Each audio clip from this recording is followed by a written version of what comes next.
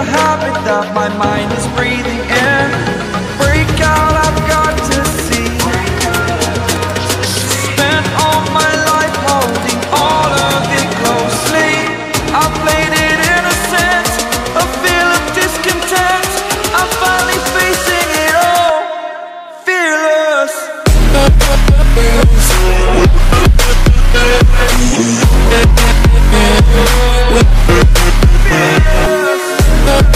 girls